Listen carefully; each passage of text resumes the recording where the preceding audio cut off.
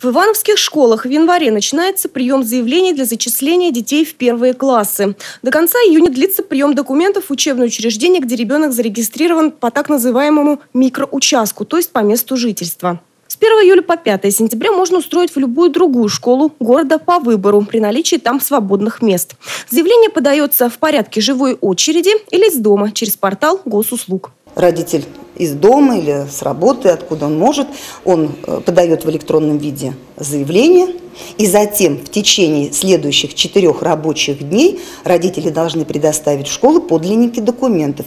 Подлинник свидетельства о рождении ребенка, подлинник свидетельства о регистрации ребенка по месту жительства э, и э, документ, подтверждающий родство родителей и значит, ребенка.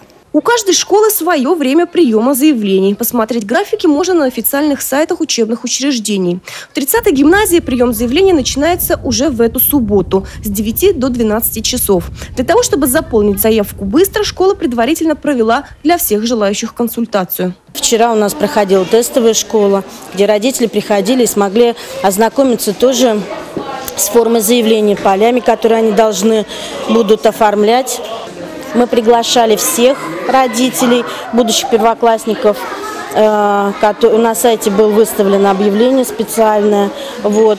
Э, было дано время, когда они могут прийти обучаться. И все приходили. А скорость в этом деле действительно важна. Например, в прошлом году в 30-ю гимназию за первые 10 минут было подано 46 заявлений. Мест тогда было 75. В этом году 50. Живую очередь будут обслуживать операторы. Они тоже предварительно тренируются заполнять заявления, чтобы не задерживать родителей. Мы вводим э, фамилию, имя, отчество э, представителя ребенка, то есть это родители.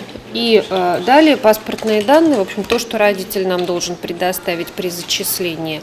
Э, данные ребенка, адрес, СНИЛС заявителя, а вот свидетельство о рождении, то есть все те данные, которые, в общем-то, стандартно всегда предоставляются э, родителям, когда зачисляется ребенок в любое учебное учреждение.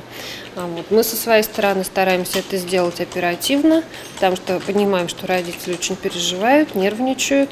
Что быстрее живая очередь или подача заявки из дома, специалисты не берутся судить. Многое зависит от скорости набора. Важно понимать, что и дома, и в школе заполняется одно и то же заявление на портале госуслуг. Там указывается точное время приема документа, по которому потом и будет составлен окончательный список первоклашек. Елена Белова, Андрей Семиволков, РТВ Иванова.